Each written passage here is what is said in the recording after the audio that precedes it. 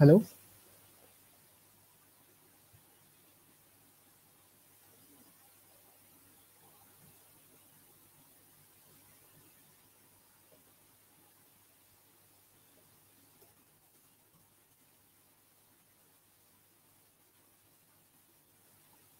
Hi, Doreen.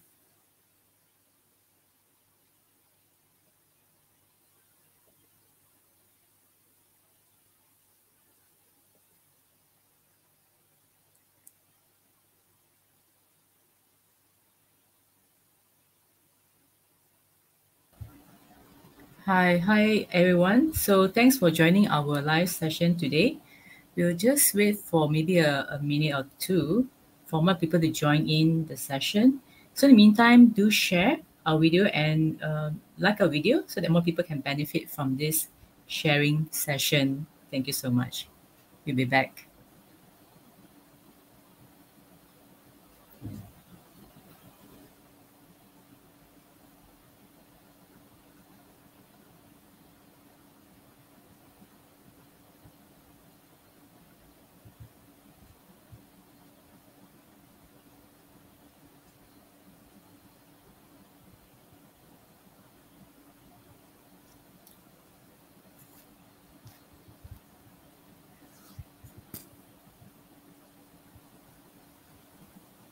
Okay, so thanks for staying with us and happy Friday, everyone. Thanks for again for joining us today. I'm Doreen, and uh, we have with us Jean, who is a full-time investor logging at the 1994investor.com. So tonight, he'll be talking about the recovery play, and he'll be sharing with us his top picks based on the recovery theme. So, Jean, thanks for being here today and taking your time to share with us um, your analysis on the recovery sector. So, without further ado, over to you, Jean.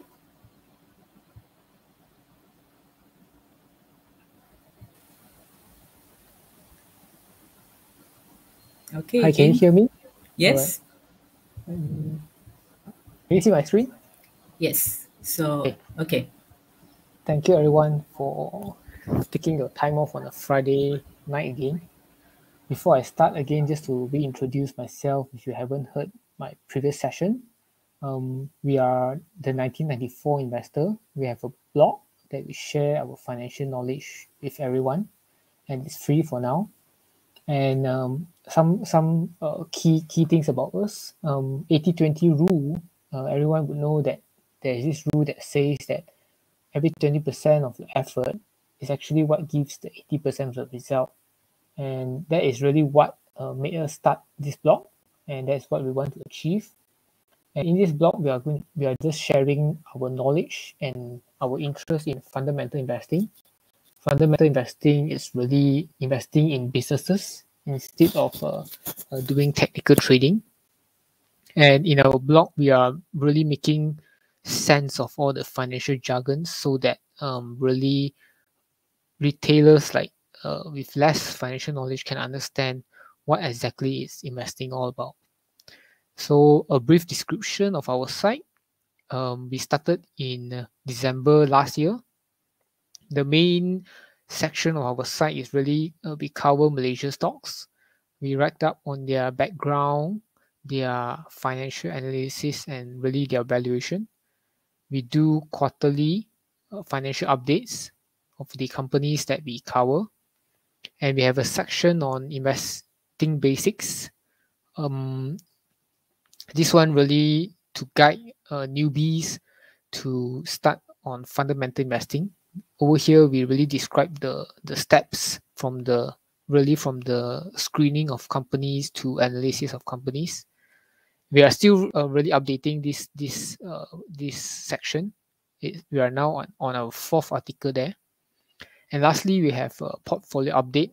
It's really just to share us um, what are what are the kind of stocks we are holding in hand, and we do update every quarter. Uh, right now, we, we keep this privately to uh, very close followers, and that is really all about us Uh, before we start, just again to repeat our principle in investing, right? We do not do technical trading, so we look really at business fundamental, uh, whether the business is um, fundamentally strong, whether there are growth prospect forward. We do not like uh, businesses in a sunset industry. And we lastly, of course, we make sure what we buy is value. We do not uh, buy uh, uh, over over overvalued company. And long-term horizon is a is a is a must thing because businesses don't change within a day or week. They, they take years to change. And this is really our investing principle. And whatever we, we, we are sharing today, you have to uh, keep in mind that these are what is uh, holding us back on all our judgment. For today's session, again, it's um, really the recovery team. We see that countries, even Malaysia, is stepping out from the COVID pandemic. Although cases are still high, right? We have to take care. But um, Prime Minister again and presidents across uh, countries have mentioned that we have to live together with this virus. If this stays here for the next two two to five years, you cannot expect every lockdown every two months. So everything have to move. We have to forget the past and start living with this virus. And hence, um, recovery team is something, uh, something you can start looking at. And today we are going to share uh, how we define recovery play, right? And of course, what are the impacted industry and sectors? So this this would be our target, and some of our picks within uh, two of the industries today we are going to share. So without further ado, let me start. So just a very brief description of recovery play, and this will guide us along this whole chapter. Um, recovery play is really looking at security or shares that has fallen in price, but is believed to have the ability to recover. So there is two part in this sentence is a security that has fallen in price and they must have the ability to recover. So for this team, there is really just two things. You find what has what has fallen and you assess its ability to recover. It's not a broad-based um, play, but it's selective. So, uh, example is say in the consumer industry, you do not go broad based just buying all stocks within the consumer sector. You have to be selective. Um, for many reasons, I will be walking through you at the next few slides. Right. So these are uh, our definition of recovery play. So if you look at um, these three things, the most the the easy easy part is really identify what has fallen, right? You can just go to go to the the screener and, and find the the shares that have fallen uh, for the past 12 months by the highest percentage and that you can easily find the first point but the second point is the one that requires more due diligence more understanding of um, why did they fall and whether they can pick up recover quickly or not and uh, these are the three for us uh, uh, three things that we look at to assess the ability of a company or a business whether they can recover. So starting from the left, um, the first question we always ask is whether the industry or the business fundamentals remain intact after the pandemic. So this is uh, the key thing we, we will always ask when investing is whether the business we understand two years ago, is it the same or is it better or is it worse off today? So a very good example is maybe um, I would say commercial offices. I do believe that demand for commercial office spaces um, will squeeze after this. Um, big corporates have noticed that and realized that people can work from home equally efficient when they are at office. So that may be something uh, that have changed fundamentally even your business travel or your business accommodation, this would definitely be reduced because of uh, the the efficiency of using Zoom meeting, right? It's always just a click away instead of you flying there two days. So that's the first first question we ask. Second question is how how much has this pandemic cost or impacted a company's financial position? So this would this would really give us a sense whether how long will this company recover. So if let's say the pandemic has caused a company to raise up uh, lots of debt just to stay surviving during the past 18 months, yeah, we really want to understand how much financial impact to their net profit. So increase in borrowings would normally directly give rise to higher finance costs.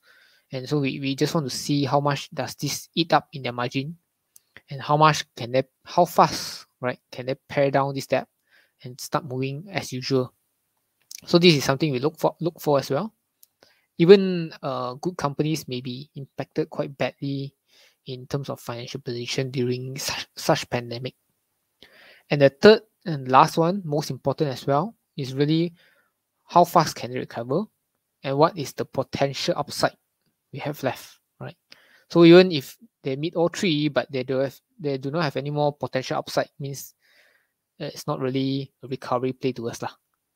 Business may pick up, but share price has fully valued uh, all these things.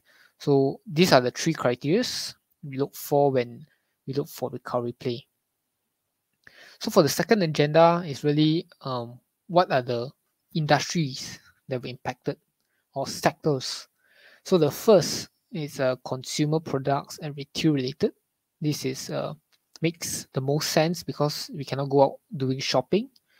We have uh, less spending power, right, for loss of income, and hence these are the direct businesses that got impacted.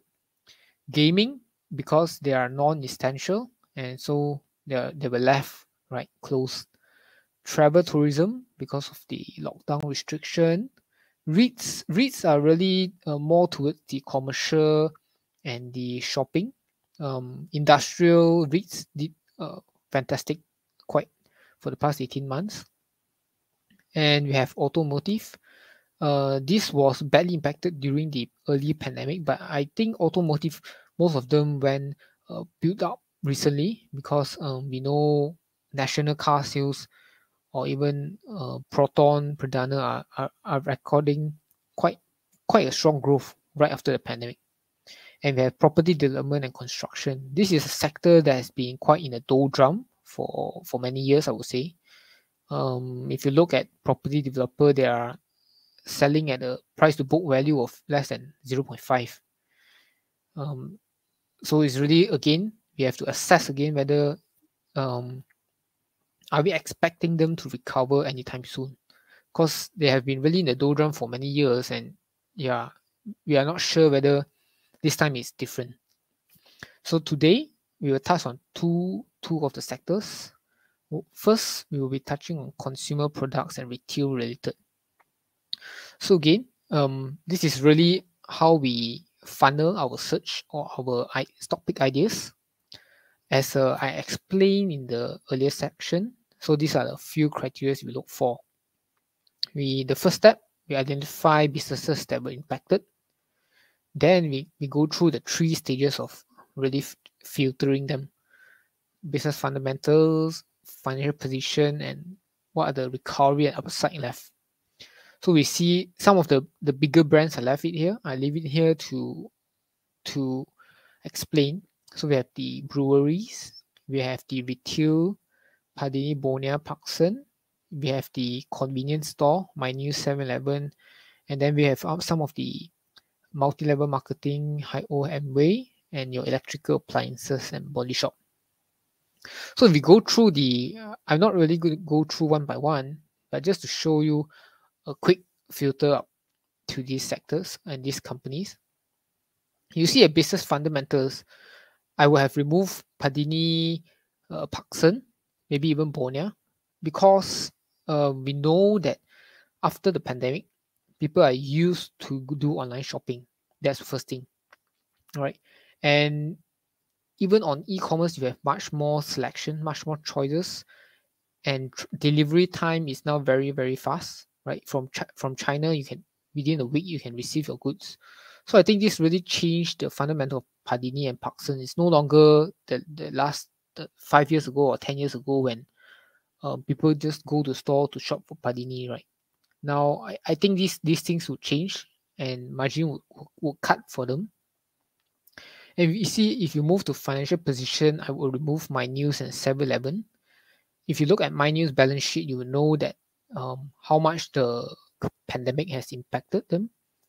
Their cash has fallen to a record low, and I suspect or estimate that they will need to raise even a private placement or right issue um, in the near term to just sustain their fixed operating costs. And the same to 7-Eleven.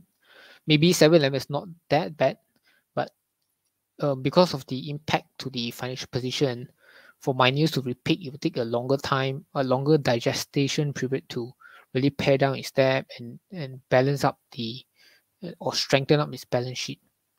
And if you see Hai-O, Amway, Panasonic, even Body Shop, Body Shop is under in in nature but These companies have really picked up back to the pre-COVID level. Uh, revenue profit is almost 80 90% there. I think share price is also back all the way up already. So the the really two uh, remaining ones that we are going really go much more in depth today is um, our breweries, Carlsberg and Heineken, um, because they are so far the the worst impacted one because they are really total lockdown. So they really shut their factory for the the first MCO was for seven weeks, and this second MCO, this second total lockdown is for eleven weeks. So they are the ones that remain cheap, right? But remain strong in everything. So let me go through Carlsberg and Heineken. So why why I say that? The first thing is um it's an, a product of inelastic demand. Uh, they the two brands monopolize the market. Uh, 95%. The the 5% remaining is really for the the wine or liquor or or craft beers, right? Uh, favors. Um, they control the market in Malaysia. Demand is relatively in, inelastic. I will show you later at their financial position, uh, financial performance uh, during the, the the downtime. They have a very strong balance sheet, right? They remain profitable and cash flow positive despite the lockdowns or closing of their factories. Um, I expect demand to pick up very strongly as indoor relaxation is allowed. And I'm going through the, the figures as well later just to show you a glimpse how fast their demand has picked up and the potential for a decent capital upside. Um, to show you again how much were there were they worth before the pandemic and today, and attractive dividend yield of four percent. So any entrance at uh, today's price, two years down the road, you will get easily four five percent uh, dividend as as they as they increase their dividend payout back to their previous level. So just a glimpse, um, Carlsberg. So if you see um, during the first MCO and in their second quarter 2020 results, their revenue dropped by half. Okay, and profit dropped from 70 million to 10 million But immediately after that, it bounced back close to 80%, 85% of uh, pre-COVID levels, f- making 400 over million, even 500 million uh, at the first quarter. Profit level almost back up all the way. In their first quarter 2021, they were making 70, 67 million. So that is really mm, 90% of pre-COVID. But again, the latest quarter we see that because of the total lockdown, uh, everything come back by half. So um, the total lockdown was the worst uh, to their impact because the first MCO was seven weeks and then now it's 11. So we see half of this impacted in the second quarter. Another half you will see get to be reflected in their third quarter. But from there onwards, I think the worst is really over for Carlsberg because um, if you follow up the trend, uh, after the first MCO. So we can see, I think the fourth quarter they were hitting, they will hit back up the 500 million revenue level, and revenue a profit really back up to 60, 70 million. So this is Carlsberg. So you can see impact wise, really just that two quarters when lockdown is there, full lockdown. But we know that the fact government has say or even prime minister has say that lockdown is no longer uh, appropriate. Any states that move to second phase would not go reverse to first phase. And these are positive things that we view to our breweries in Malaysia. And we have Heineken. You can see as well the first lockdown uh, hit them by 50% revenue. Then the following quarters that pick up same 80 90%. And then uh, the latest quarter as well hit because of the total lockdown. So it's a very sim- similar fashion to Carlsberg, right? And uh, just to understand, Carlsberg in Carlsberg Malaysia, listed in Malaysia, they sell in Malaysia, they export to Singapore, and they have an associate where they export to Sri Lanka. So it's really three countries. But Heineken really sells just in Malaysia. Okay.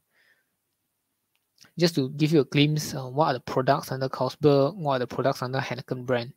So in Malaysia, right, Heineken and Carlsberg, they have a similar revenue size, but Heineken is slightly uh, larger in Malaysia in terms of market share because of uh, yeah because Carlsberg part of uh, Carlsberg revenue is comprised from Singapore and Sri Lanka. So these are the brands that both companies hold. And so are the, really the, the SWOT analysis of these two uh, businesses. Firstly, it's the, the strength is really we see that rebound it's really um, expected to be very soon as restaurants open up. They remain profitable despite pandemic. And I always love this point that their business model is superb, right? Why I say that is because they need require minimal capex and minimal R&D investments.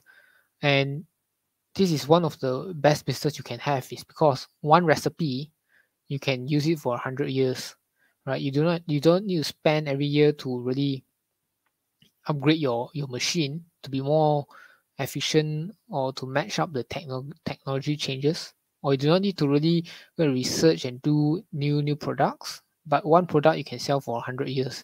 And that's why you can see their their cash flow from operations or free cash flow year on year is higher than their profit. Okay? And operating cash cycle they have a very short uh, for Carlsberg is even negative cash cycle. So they they give uh, 60 days uh, credit terms but their their payable is 90 days something like that. And last point they are all going big in premium. So what does it stand for? It's um unlike the tobacco industry margins are cutting down.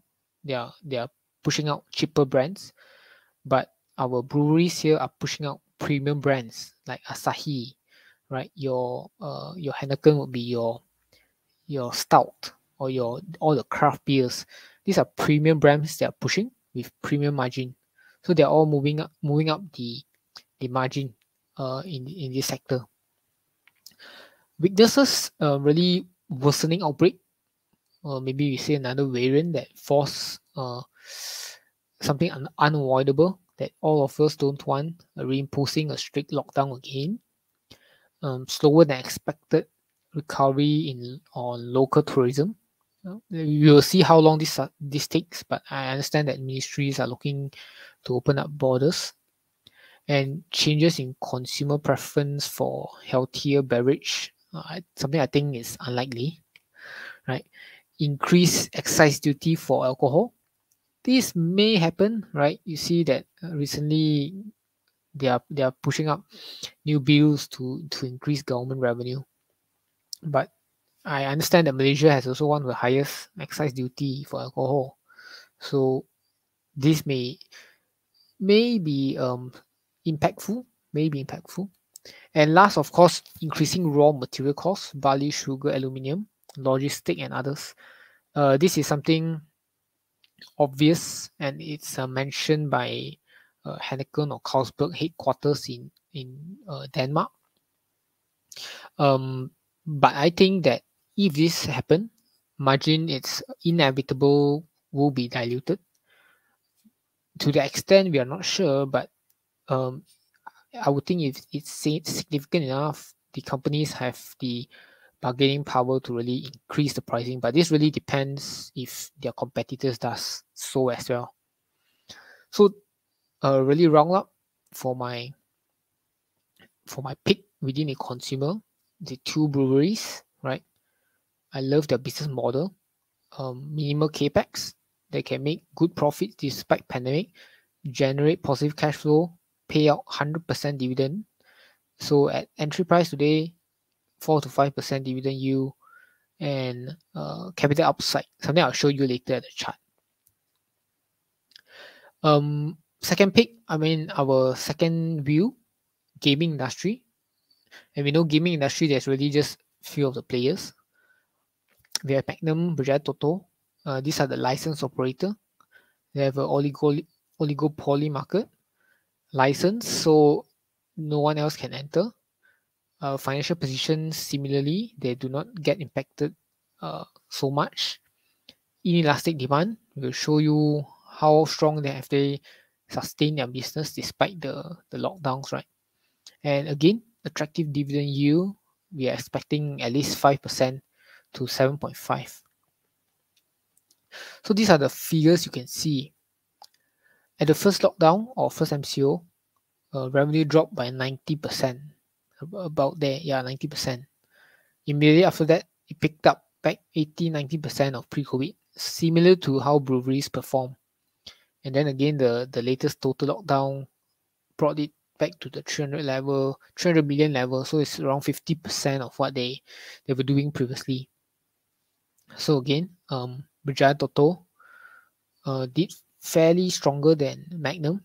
I do not know much of the reason why. I mean, how do they uh, remain their dominance so strongly?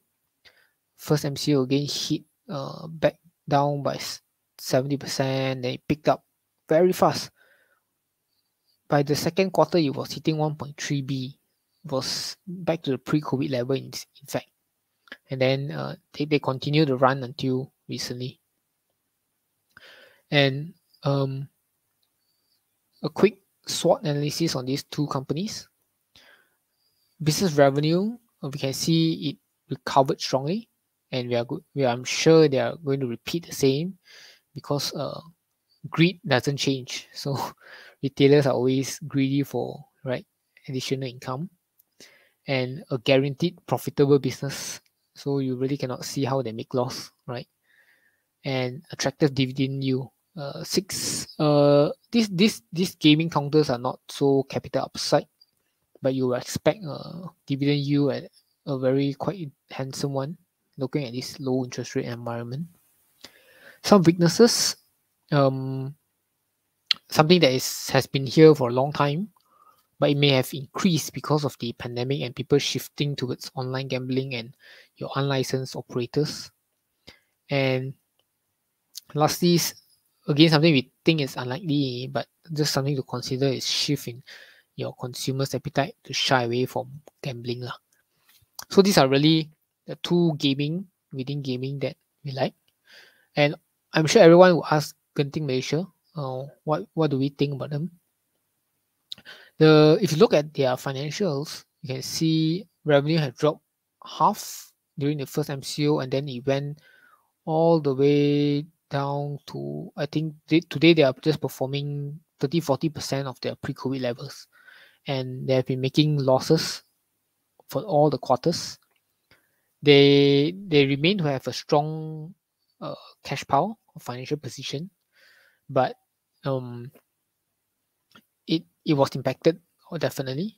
So business now remains below the optimum.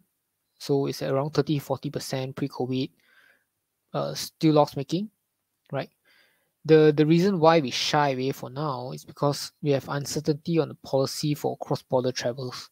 So we know that they are in Pahang, but Pahang citizens or Pahang uh, residents, I don't don't think much will go to Genting and most of them are, are really from KL, Selangor.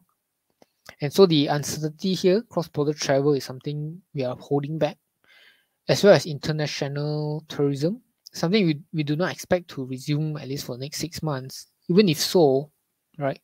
The it's really more for business travel, we would think.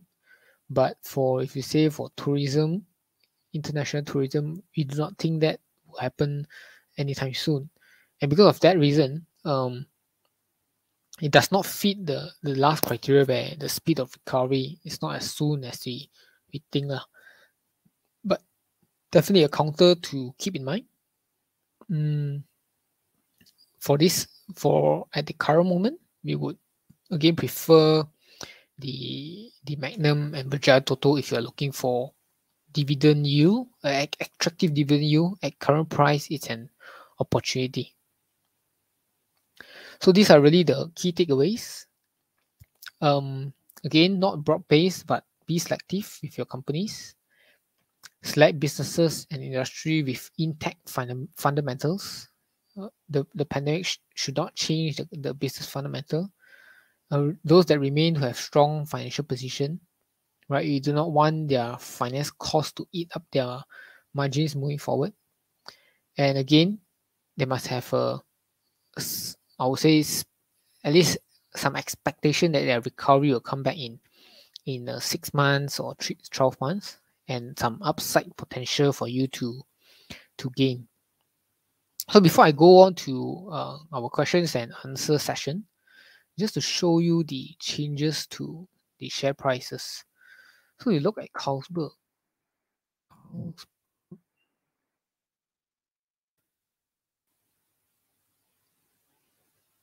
You look at their one year chart or three years chart. Okay. So you see this the crash happened here. Uh, before that they are they were selling at a peak of 39 ringgit say that is really maybe too high. So we bring it out, say $30, 30 ringgit.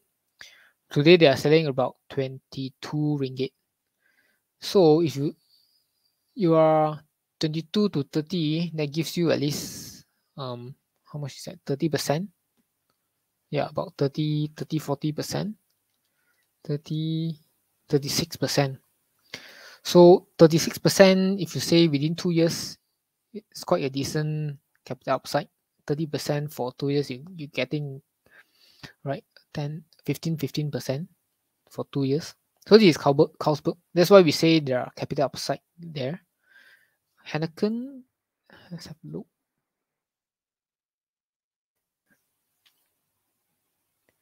Look three years.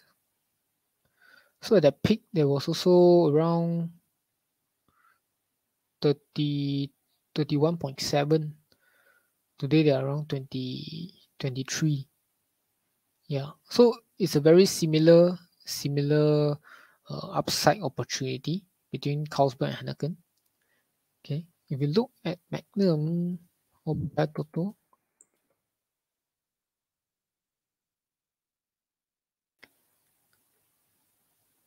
three years yeah so before the the pandemic they were around two, 250, 260.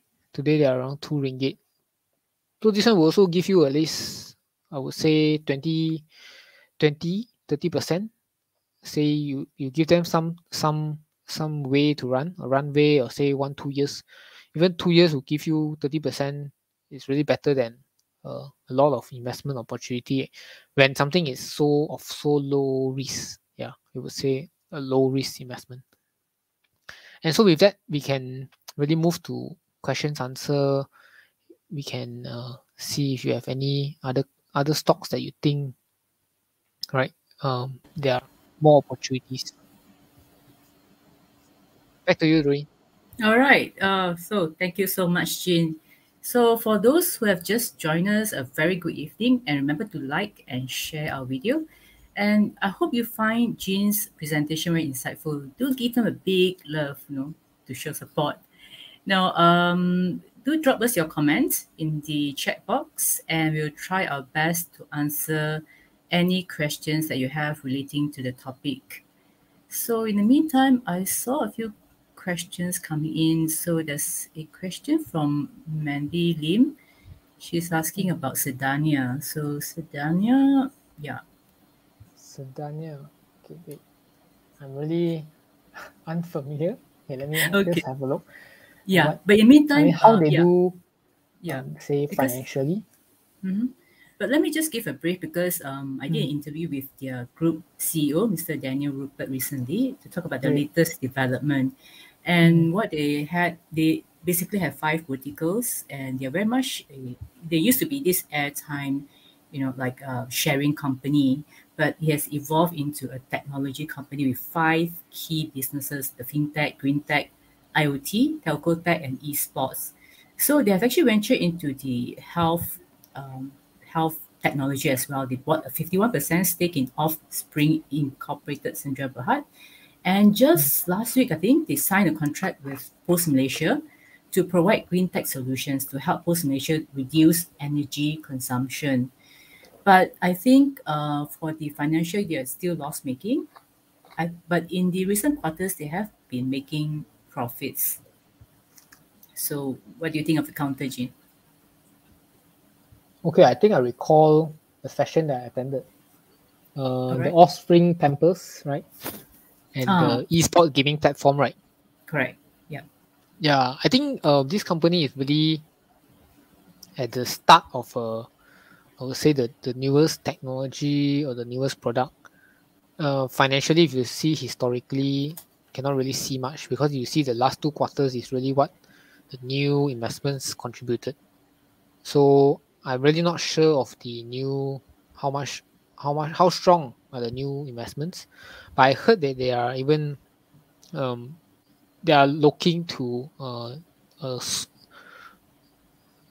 for the for the e-gaming e-gaming arm they are looking for really to spin it off one day but Mhm. yeah I, I really couldn't comment much on this never Yeah. studied in depth Yeah, they have quite a lot of businesses as well. So, but mostly all related to technology. Yeah, but yeah, there are a lot of things going for them. Maybe we move on to the next question. Um, Mr. CK Peter, what do you think of Genting? I think you covered Genting earlier, probably on a broader base. Do you have anything add to add on Genting? Mm, I would remain uh, to put put it aside for now. Um, but we would have, can definitely re- revisit when when there are much more certainty on on things, because we um, even if you are talking about cross border travel, we see they are doing uh, the the trial with Langkawi, and I think we saw the news that okay there are five say five tourists that got uh, infected by Mm. COVID. So we don't know how all these things would change cross-border travel. And at the day this do- doesn't start, Genting has really no no upside for No. you for recovery. Right? Okay. Mm. Right. So, okay, maybe we can look at question from Mr. Isaac. How about Tenaga Nasional? Yeah, as people, businesses consume more electricity. So I guess that's also one of the biggest beneficiary, right? Yeah, this is a a, a definite lah because there are a monopoly monopoly uh, for an, for every electricity they use. Um, but nothing much to to comment, right? Because But unless there's a potential hike in the tariff, so yeah. that will also benefit them. yes, yes, yes, yes. Yeah. Okay, so that would be a potential. it's not really for- uh I would say a recovery play because they, they Mm. didn't really get hit much. Uh, I think as businesses um, were, you know, they, they were not able to operate. So mm, I think a lot of their income were affected as well, right? yep, yep. Okay, so now everyone is like back to work and businesses are actually operating like normal already, uh, more or less normal, I mean, with uh, certain conditions. So it would actually um, see more upside from Tenaga Nasional, I guess. Yeah, it will go back to the previous level. Mm-hmm. Okay, and then from Mr. Lawrence C. How about your take on BAT? So another scene stock. Okay, um, I BAT I studied before before the pandemic, right? I didn't touch it uh, since, and my take from my right, uh, I would say duty and analysis. I would think if you compare the two biggest scene, right, the drinking and the smoking, I would prefer the the breweries. The the, the main reason is really because if you look into BAT's past five recent years, uh, three, five years, they're always very concerned on the illegal cigarettes Yeah. that is eating up their market share. Yeah. And government is really doing not much uh, on that. Yeah, and- fighting- yeah.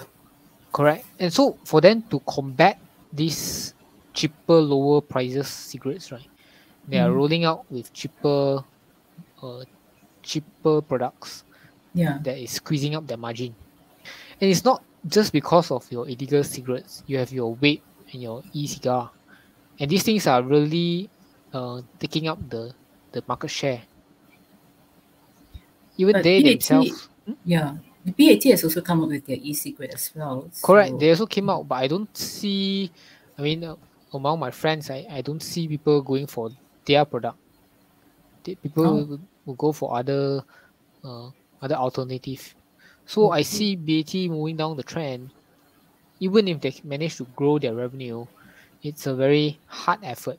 It's a very tough fight, doing a lot of sales promotion, but still your margin getting lower because your product is always getting cheaper. So in a in a medium to long term, right, I would definitely prefer our brewery guys. Uh, they are just looking to going going to premium products. But brewery also affected by the illegal, you know, the imports. the- Correct. Yeah. Correct, correct. But um, yeah. So we see how if if the coffee shops in Malaysia that uh, government impose them with licenses on all these things, it may it may really bring down all these things. But so far we do not see um the impact of this uh that to hit the brewery's margin yet. So we will reassess again. But I I don't think drinks will get impacted like that lah. So bad lah. Mm. Mm. Okay. Right. Um, well, we have a question from Ch- Chua Yen. Um, probably your take on LB al- aluminium. Aluminium. LB Okay, aluminium we know is a commodity and commodity had, had made a very good run recently for for various reasons right uh, Yes. booming housing sector in us china uh, clamping down these uh, non eco eco productions Good. then we have a this country called g something I forgot Gui- the name Guinea, yeah. Guinea, yeah, that Yes. stop production, all these things. And um, as price goes up, right, gross margin for al- uh, aluminium product producers, manufacturers improve. Their fixed costs remain, hence your net margin uh, perform well. Um, the question is commodity stock cycle Mhm. whether it can sustain. If you talk about aluminium, I never thought of LB Yeah, um, the biggest name you would hear is Press Metal, correct. but I have noticed of one aluminium player called the PA Resources.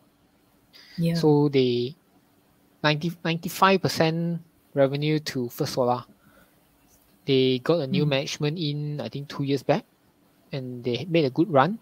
In fact, their performance was also doing relatively well. Mhm. So, um, I, I quite like the aluminium product itself. I think construction or many materials are moving towards this light, uh, more uh, concrete or more solid aluminium. Yeah. Um, Even but the comment on- automotive- comment on the pricing, yeah, we, we really need another session to just to let you understand what drives or what factors are driving these these cyclical Yeah. prices. Yeah. Yeah. Okay. So, and from Mr. Darren Chong, what do you think about plantation stocks? Plantation. Another one Another session for that. yeah that this is totally another session because Yeah, there's a lot of understanding behind plantation uh Yeah. supply and Another. demand dynamics and it's Mhm, really yeah. very much also influenced by countries setting up tariff import export tariff here and there Mm, Mm, precisely. Yeah. mm. And then I think I think you covered this PA, right? Um, yeah i just mentioned Yeah. the another aluminium extruder Yeah. Mm, okay. Uh, Okay, from Mr. CK Peter, which company do you prefer, Carlsberg? Hi, Peter. I'm Carlsberg, Carlsberg fan. I'm a Heineken fan. Okay. so, what do you like? I guess, um, yeah. Why? Okay, if I fundamentally, yeah. Okay, fundamentally, both are really similar. Net margin they are making um before the pandemic they, are, they were making 13% plus minus. I think recent quarters they're making 10%, so they're really closing back up the gap. Um, market share, Heineken is slightly larger. I think maybe 55% than Carlsberg, the 40 over percent. A balance sheet wise, both are uh, net cash, but Heineken leverage more. Operating cycle wise, uh, Carlsberg they, they have a negative operating cycle. So they are credit term they give to their coffee shop or their bars. They give them 60 days, but they got a payable of 90 days. Inventory less than a month, so negative. Heineken, they give their credit term longer, they give 90 days. So just that 30 days, so they, hence they, they finance that with that. So but all in all, really a similar similar business, similar profitability, balance sheet. Even their products are all across board also good lah. So, but if you ask me, I I I'm a uh, I prefer Carlsberg. I see Carlsberg. more upside at Carlsberg lah. Okay. Mm. Not because you like the drink better. Drink I like stout though. Is that Heineken Unfortunately. Unfortunately. All right. So from uh, Mr. Chu Yong, Carlsberg had a good run in the first half of 2019. That was yeah. What was the catalyst? That was in 2019. I now think before the, if you ask me before the pandemic, the catalyst for the breweries counter always always at the end of the year. It's always Chinese New Year. Mm. That's when their price yeah. will go up. And the second thing is because of their their strategy of going into premium products. So uh, investors are all expecting their them to get better margin. And that was really the catalyst before the pandemic. But now we are talking a different catalyst, uh, a catalyst of recovery. Okay. Yeah. Okay. Since we're on the topic of um, worry, uh, brewers, right? So mm. I noticed that Heineken saw impressive sales growth. You know, this is off a low base, and they have gained market share too. And this was um, amid operations being suspended since June 1st due to pandemic measures. But the second quarter 2021 sales grew by 38% year on year mm. off a low uh, base in the previous year. Right. So I was just wondering, um, and also they have this premium beer, premium wheat beer, the Elder Vice. So mm. these factors combined, they have they are more resilient. Um, you know, they have they appear to have uh, upper hand rel- relative to Carlsberg. So, do you think that Heineken will continue to register such impressive growth? And will its premium beer continue to be the customer's preference over Carlsberg's? My personal opinion, they will they will do fairly the same, um, because Carlsberg as well they have their own premium beer section. I think Carlsberg their premium beer they are those are the brands like your Kronenbourg, Asahi, Somersby, and Heineken. They have their own as well. So I think they will, um, they are in the same direction, right? And mm-hmm. I think growth wise, both would do similar for the next few years, which is around ten percent top line.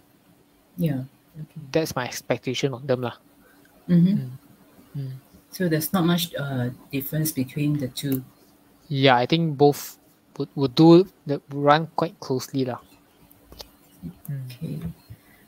I think we're talking about the um, margins as well. So Heineken's mm. margins actually improved significantly on the back of higher sales and the OPEX discipline. Um, in second quarter 2021, EBIT margin improved to 9.6% on the back of higher revenue. Mm. But then, given the in, you know, but yeah, given the increasing raw material costs, you think this will erode its margins significantly. So I think this applies to Carlsberg as well. Correct, correct. Um, this is this was something um sound sounded, and it was really uh, uh, informed to the analysts in the in from the headquarters of uh, Heineken or Carlsberg.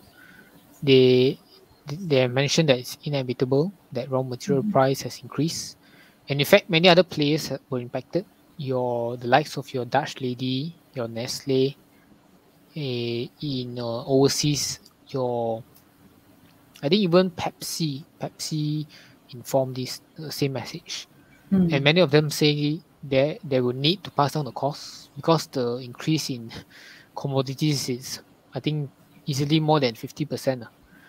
So Oh, that's huge. correct, correct. So I think it will hit their margin in the near term until they they decide to um, pass on the cost. But before they pass on the cost, they would have to wait lah. See Carlsberg or Heineken pass first, right? Yeah. Then they will follow Yeah. suit. And they can't really pass on so much because, like, uh, for instance, like annually, right? Heineken raises its ASP, the average selling prices, by a low single digit only. So, but then analysts think that this would be sufficient to elevate, alleviate any concerns over the significant pressure on margins. So, I guess if it's fifty percent increase in raw material, that'd be quite significant. Yeah, yeah. So I think the next maybe the next two quarters is something we have to look for, look after. We have to really analyze their gross margins. Yeah. Yeah, but so far, uh, mm, I don't think the management indicate uh, like how severe I'd is the impact yet. Yeah, but based on some of the reports that I read, you know, the management has actually um, mentioned that they are contemplating a balance between absorbing the cost through the Mm. streamlining of its operations and passing the cost to its consumers. So it's a mix of both, and Mm. any pass-through cost should be manageable. You know, that's what the analyst thinks. Mm, Yeah. yeah, yeah. But we will see how lah, because Yeah, you know commodities price can just keep going up and they have no choice to do it. correct. Yeah. Mm, mm. Okay, so maybe I'll take a question from Mr. Hans. So can you comment on Sisol and Denko? Okay, I'm not familiar with Soso. And Denko, right? Okay. Benco, I hear them, but I don't. co- They are, they have uh, recently acquired few businesses, and hence you see increase in revenue and profit. But Mhm. mm, I would, I mean, I would shy away from companies that do too many acquisitions in a short period of time. Ah, okay. Yeah, some Okay. con- I have concerns on, yeah, not not too diligent. Mm-hmm. I, I yeah, Okay. I'm not not too sure on Soso. Sorry about that. So, okay, yeah. Right, moving on to the next question from Mr. Darren Chong. He said that will the current China Evergrande Group issue affect Malaysia's stock market? Mm, if you say fundamentally, I don't think there would be any impact. Uh, I don't think any of our bank has exposure to them. First, Mhm. Secondly, even if they purchase Malaysia assets and they want to liquidate or sell off and redeem cash, um, I don't think that will impact us in the in the overall stock market lah. But maybe sentiment wise, yeah, always Malaysia is just a small guy, right? So you always follow the big boys. When they fall, Yeah, we'll fall harder. yeah, Yes. sentiment lah. But Darren, Yeah. fundamentally, I don't think there are really any change. Okay, great.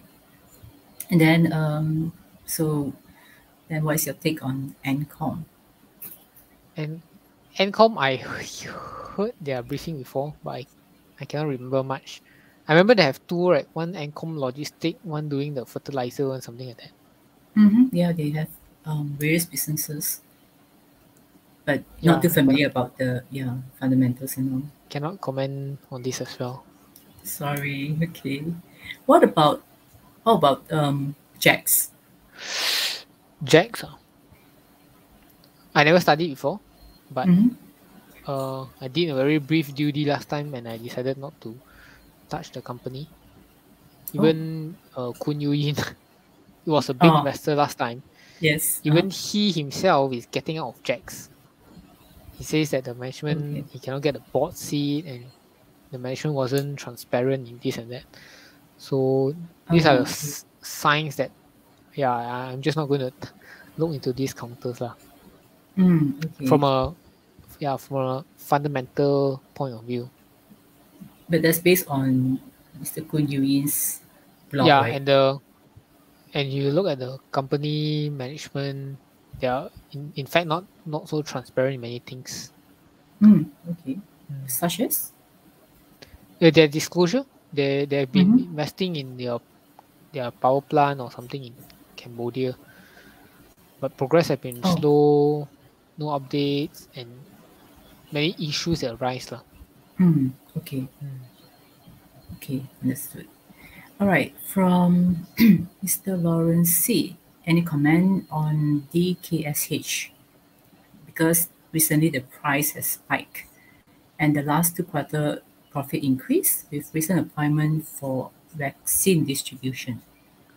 Yeah, so DKSH is a very quite a huge distributor for many brands, consumer Mhm. brands, and recently run up also because of the vaccine agreement. Um, but I do not know what what does that. Uh, is it an MOU or is it a they are they are the sole distributor for that vaccine? Yeah, because without that knowledge, I cannot really comment because sometimes your price move based on rumors, right? Yeah, Hmm. you have to look at um, yeah the agreement MOU Yeah, in I- detail. Yes, I prefer more concrete to really to make sure lah. Yeah. Hmm, okay. Right, moving on to the next question from Mr. Eric. And can you comment on CCK and the increase in chicken price recently? Oh, I didn't know chicken price increase lah. you don't eat chicken, ah? okay. But I don't buy lah normally. You don't buy, okay. Alright, CCK. Sorry, Eric, I cannot answer you as well. okay. Alright. Never studied studied before. Yeah, okay. Yeah. So from Mr. CK, Peter, what do you think of SAM engineering planes are starting to fly? Okay, okay, Peter. Um, if you visit my my site, I I did cover them. I think, I think last year or early this year, when they were selling at seven seven eight bucks. They are in fact a very good company. They have a one of the most advanced technology in terms of your your um I would say your electronic or your plane machine uh plane parts um precision manufacturing but because of the plane um, all locking down. Their biggest customer like boeing airbus and all just stop orders. And hence they were loss making for a few quarters at the airplane segment. And sam has actually transformed it a little where you see their semiconductor equipment segment has been increasing up to 70% of their revenue already. So, uh, yes, planes are start flying back, mm, but I think their aeroplane segment is still there, is still down there. Uh, it's, it's not turning profitable anytime soon yet. The price has indeed moved up back to 14 plus lah. Uh, they are not too expensive because if you compare to your other precision players ah, like uh, UWC, like your Kobay, your your PE is around 50 times. But Sam is I think 30 or 30 plus I think now. So if you look at equipment side play of things, they are still cheap lah. But there are there are a few things that you have to take note. Um, Sam margin is not as well. I think their net margin 15% plus minus, but UWC makes 30. And Sam is very cornered stock. They are 70% owned by the Singapore parent co. Yeah. So yeah, even if you it, it may move up and down very quickly because of that low low spread lah. Hmm, Something to take note. okay. But fundamentally, yes, like it's a it's a very well managed and good company. Mm. Okay. Right. From Mr. Peter Teo, how about KGB and D&O? Very Mm. active The hot- Yeah, yes, the very hot stocks because Yes. of uh, riding on the semiconductor team. Mhm. Kelington do the high ultra high purity industrial manufacturing of the pipe, the whole system. I think they recently secured contracts Singapore and quite quite huge contracts as well. Mhm. Yes. D&O does your LED design manufacturing for many of the big uh vehicles in the world. I think Mercedes, Tesla, Benz all under them. Uh the only question is really their valuation, right? Fundamentally we know they are they have a good prospect, strong balance sheet and strong profitable business that generates act- actual cash flow. Um, valuation wise, something to to be I, I would be wary of. I would think twice, yeah, before entering at, at today's today's pricing lah. Mm. What do you think, Doreen? Their is their price Yeah, probably a bit giving too- you more upside? Any more upside? Um, it's very hard to say. I guess you're looking at the growth because semicon uh, business is very much a growth story where people believe in in you know in the future. So I Mm. guess even though you look at high valuations, but people are still Mm. willing to put their investments into these stocks, especially if you're Mm. looking at good and strong fundamentals. I think Yup. something that we can consider. Mm. Yeah. So I think P, you look at the price earnings growth Mm. ratio. I think if D&O can can increase thirty percent, their PE say some today I think sixty and more. Um, two times PEG, I would say is a high side lah. Mm. I would prefer taking the risk at Alibaba. oh, okay. okay. yeah, All right. my take, my take. Yeah. Okay. Right. So, okay, this um, comment from Mr. Lawrence C. You recommended Nova. So, probably you want to find out more about this counter. Well, thanks, thanks Lawrence for following me. Yeah, your follower. Okay. Yeah, not bad. Okay, so Nova, they, they, they have uh, their own brand. They do health supplements, uh, beauty products, and they are going into uh, your your beauty products. They are going to that segment. They do their own manufacturing. They do their own brand, and they distribute via online and then pharmacies lah. Um, they do profitability very good. Gross margin seventy plus percent, close to Mm. 80 net margin 30 30 over percent. So these are the business i like right? Strong margin that they can sustain long term because it's their own brand. They do their own manufacturing they do their own research. Um growth wise year on year they are doing close to 10 percent very organically. Financial position is a net cash. Uh, valuation today I think around 17 times. So it's I would say all in all it's a fully I mean fairly valued company, right? If but if you are looking for a I mean value investor like us, we try to try to buy in when it's cheaper lah. So 17 times is something you can sit on lah that gives you 2% dividend. Because until you have a strong catalyst say they are entering to a new geographical market or they have a new product that really hit the shelf and just got running very strongly those catalysts may um, push up our expectation on the PE multiple but at current with uh, their I would say BAU style organic growth I would say 17 is quite fairly valued lah. but fundamentally they are very strong very strong company, strong strong product. Even the pandemic, they they, they continue continue to record growth. In fact, yeah, that's all, Lawrence. But um, who are the peers that you compare Nova with? When you look look at valuations, right? I mean, whether they're cheap or Yeah. whether they are. Mm. This one I compare them to your Hai-O, your MBA, your uh, YSP that do Oh, supplement the distribution. Yeah, this okay. their valuation Yeah. Hai-O MBA they are also selling 18, 18 times like that, something like that. Okay, but um, Hai-O ML uh, Amway they are more M- MLM kind of business, right? Correct, correct. Mhm. Okay. Mm, But they pay more decent dividend lah. Over there they pay four percent and above. Uh, for Hai-O. Oh, Yeah, I think both Hai-O and base around there. okay. Mm. All right. So, Mr. Hans, he said he asked you which sector do you think is worth to put more emphasis on? If you if it's on the recovery, uh, I think every sector, I mean that few six sectors, you have opportunity there. Hence, it's really not to be broad based but selective.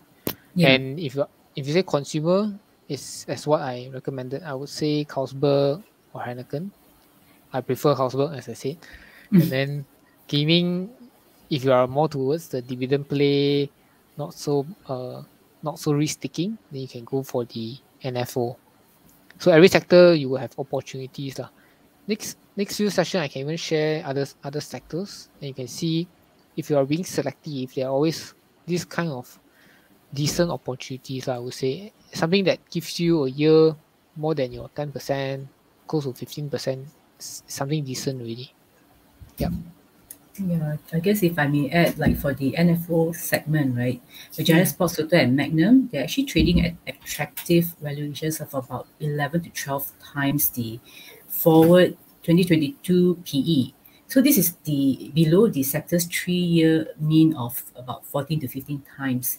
So such valuations are, you know, very appealing for a sector which is very asset light and you know it, it doles out most of the domestic cash flows as dividends so yeah this is actually a good opportu- opportunity Mm, yeah. So if you if you follow me closely, my I mean our principle is always first is not to make loss, right? Or you minimize your loss. So these are the counters that really have a very I was to us it's really a very low downside.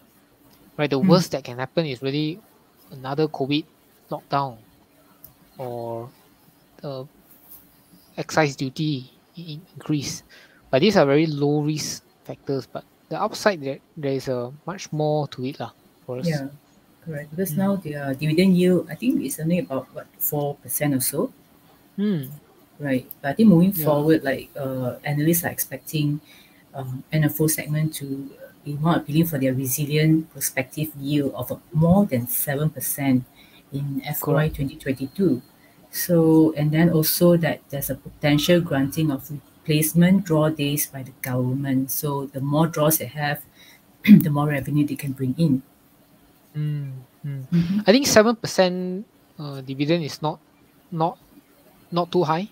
It's uh, Mhm. something that you can expect. So if you look at Berjaya Toto's past dividend payout compared to the compared to the current price, if you bought it today and you wait for two years, and that is really what you can expect a seven percent dividend yield. Yeah, Mm. even for Magnum also, right? Yes, correct, correct. Mhm. But the Okay. horizon is something two years you have to wait. lah. Two years passes very Mm. fast. very fast, sorry. Okay, so what's uh, from Encik Izani, what's your take of on um, MGRC? Sorry, Encik Zani. Hmm. I tried tried understanding MGRC, but too technical for me to understand the biotechnology, Ah, yes. bio biology stuff. yeah, too I just don't understand. Hence, I yeah I don't invest or I don't don't plan to. Okay. Right. So from Mr. Lawrence again. So MyNews has got a franchise of CU Korean convenience store and they plan Mm. to open about 500 outlets within the next three to five years. Will this be a catalyst for them? And with the recovery, they should be doing better, right? Okay, for MyNews, um, on their statement to open 500 stores within the next five years, I think a little bit bullish. Maybe that was something they said earlier. But if you look at their latest balance sheet, you will notice their how much have their have the impact cost them. Because they they do they, they rent or they lease these outlets. And when pandemic hits their fixed costs remain but their everything come down. Their revenue slides their margin follow suit because they even started their own bakery production. And because they could not couldn't reach your economic scale margin hit. So this pandemic really caused the, the balance sheet to, to be quite bad and I, I think they would need to raise uh, capital or bond or debt funding to in the next next two quarters to just sustain. So if you say for expansion wise, I don't know how they are raising that that fund. Hence, uh, I don't think although business may pick up, right? But for them to pay down their debts and really strengthen their balance sheet is another long long effort lah, to me. Mm. Okay, but I think um, to to have the presence, they need to really expand so that you know they, they have um, they'll be growing the franchise, right? I think there's Mm. probably um, agreement that they have to reach certain stores within a certain Mm. period of time. Yep, yep, yep. So maybe maybe mm, the Korean will, will invest or pump in capital. Okay, but that we, we are not too sure yet. Yeah, but looking at the last quarter, yeah, I decided to stay away lah. from MyNews. Mm, yes. All right. Okay, maybe um, from Mr. Chu Yang, can you comment on revenue at this current valuation? Okay, Chuyang, I also covered revenue uh, in my in my site, and I think in my last coverage, and my last understanding was their valuation was four, four, 50 times and above, and I mean in all what I remember is revenue is a good company, good management, good prospect. They are in a, in a really a sunrise industry, but valuation wise, I think PEG ah price earnings growth uh, I think two times and above. So I'm not the not that risk taker so not not my appetite at this at this valuation I would say. But Okay. fundamentally it's really good if you if you are bought early you can just hold and hold for the next few years. Uh. Hmm. Okay. Right. From Encik Izani. So I think this is your one of your favorite stock, uh, MI Tech. So it's starting Yeah. to go up upwards. So is that an in at this anticipation of good upcoming quarter results? Uh okay. Uh Yeah, you covered that in price- previous. Mhm. yeah, but share price you know lah move move every day, every week. Mm. Sometimes go up, sometimes go down. Yeah, correct. uh, if you just think about the fundamental, I would think next few quarters will be good for them as well. I mean, they have been seeing the same thing in the quarter report that they are very optimistic. They are seeing stronger demand. Their expansion into China, Korea, Taiwan has completed. Now it's really just really just to start start up the engine and doing the marketing to to bring in the sales. So I think it's a I think they they have a good prospect for a quite a long long run. But we will see how how the, the management really turns turn his words uh, into action. Yeah, I guess if um, you want to find out more about MI Tech, can watch our previous um, session with Jean where he elaborated Yeah. more on MI Technovation. Yeah, that Yep. was on the semicon industry, right? Hmm. yes. Okay, so I guess um, this is our last question for the night. So thank you so much uh, for staying for, with us for more than an hour. And do check out Jean's blog. He has a very good write up on um, his top picks, like on the 1994investor.com. Do follow him on Facebook and Instagram. And if you have missed the earlier part of the show and you want to look at some of the points that um, was highlighted by Jean, do watch the recording, which will be uploaded on our Facebook page and website xifu.my later. And do remember to like, share, and comment our video. Yeah. Um, Jean, you have anything else to add? Um, maybe just um for the listeners or followers, just post up more comments or what are what are the topics you would like to hear Yeah. or you would like us to deep dive into any specific companies in the next session, feel free to comment. Uh, we'll try to yeah give yeah. you a good one. Yeah, so you can start putting in your comment which um, stock or industry that you want Jin to cover next Friday. He'll be more than happy to put his thinking cap and give you very good analysis on this. Thank you, Lawrence. Thank you, Izani. Yeah, thank you. So, if there's nothing else, I'll see you next week and have a great weekend ahead. Okay. Thank you, everyone. Thank you, Doreen. Thank you. Thank you, Jane.